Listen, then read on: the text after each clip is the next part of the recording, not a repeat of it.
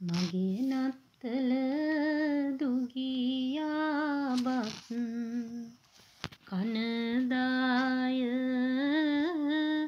මගේ නත්තල වැරහැලි නැති වෙනදාය. මගේ නත්තල ඔබේ දුක සැන සෙනදාය මගේ නත්තල පව පල්ලියේ යනදාය අයිබවන් හැමෝටම ඉතින් අද නිවාඩ දවසහින්දා අපි කුරුස පල්ලියට ආව මාරවිල. ඉතින් කුරුස පල්ලියට යන අතරතුර අපි දැක්කා අම්මෙකුයි පොඩි පුතෙකුයි ඊට පස්සේ අපි ළඟට ගිහලා ඇහුවා ඇයි මේ අවුවේද කවුවේ හිටියාලා? ඊට පස්සේ ඇයි මේ අවුවේ ඉන්නේ? කියලා ඊට පස්සේ ඒ අම්මා කිව්වේ පුතාට ලේ වතුර වෙනවා. ඉතින් ඒකට බේත් ටිකක් ගන්න තමයි අර කොළ එහෙම ඉස්සරහා තියාගෙන හරි ඉඳගෙන ඉන්නවා. ඊට පස්සේ මං හැව මොනවාද ඕනේ කියලා. ඊට පස්සේ මම බේත් ටික අරන් දෙන්නයි ගියේ. ඒතකොට කට්ටියක් ඇවිල්ලා එයාලට බේත් අරන් දුන්නා. ඊට පස්සේ මේ කිව්වා අම්මා මේ දැන් ගෙදර උයන්න අඩුපාඩු ටිකක් තමයි තියෙන්නේ. කන්න බඩු ටිකක්.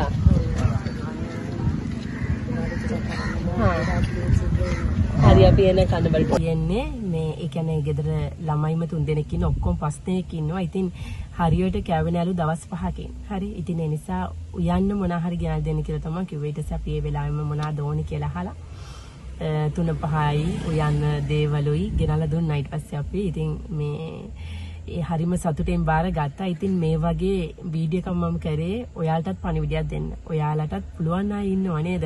චූටි පුතාලා දුවලා අපේ මේ වීඩියෝ බලනවා. තව ලංකාවාසී සියලු දෙනාම නේද? ඒ වගේ ලෝවාසී සියලු දෙනා බලනවා. ඉතින් හැකි අයුරින් මේ වගේ අසනායි දැක්කොත් පිහිට වෙන්න. ඉතින් මේ උත්සව සමයේ නේද? යාලට නත්තලක්වත් සමරන්න බැරුව මම. හිතන්නේ කෑමක්වත් කන්න බැරුව එච්චරකට අසරණ වෙලා ඉන්නේ නේ. අවශ්‍ය කෑමක්වත් ගන්න බැරුව. ඉතින් ඒ වගේ අවස්ථාවල ඔයාලා කියන්න. මගේ නත්තල දුගියාබත් කනදාය. මගේ නත්තල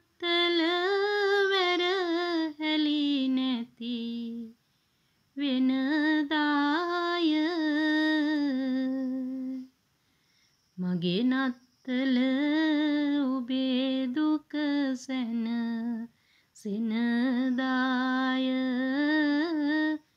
මගේ නත්තල පව පල්ලියේ යනදාය